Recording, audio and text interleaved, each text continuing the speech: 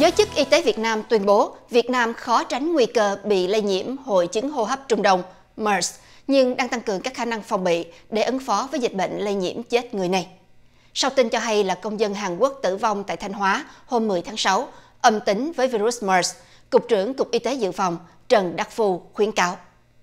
Việt Nam hoàn toàn có thể có những ca xâm nhập bởi vì rằng là những người đi từ vùng dịch về đến Việt Nam là rất nhiều nhưng mà chúng tôi cố gắng là khi vào làm sao tiến hành phát hiện được sớm và cách ly để cho không lây lan cho cộng đồng. Việt Nam đã có các bước chuẩn bị đối phó với dịch bệnh MERS ra sao? Phó giáo sư tiến sĩ Trần Đắc Phu cho biết thêm chi tiết.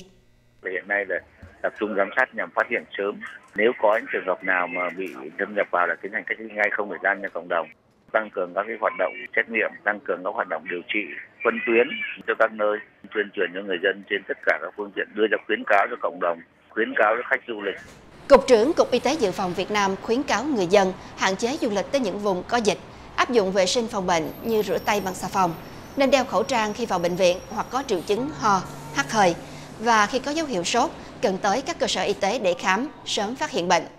Truyền thông trong nước cho hay nhóm công nhân ở khu công nghiệp Nghi Sơn có tiếp xúc với người Hàn Quốc độc tử ở Thanh Hóa đã được cách ly, kiểm tra sức khỏe.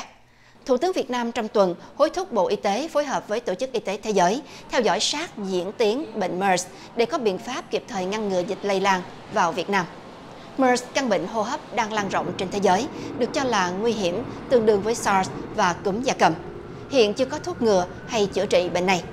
Hàn Quốc hôm 12 tháng 6 xác nhận có 11 người chết vì MERS, đồng thời cũng báo cáo thêm 4 ca bệnh mới, nâng tổng số người bị nhiễm MERS lên thành 126 người.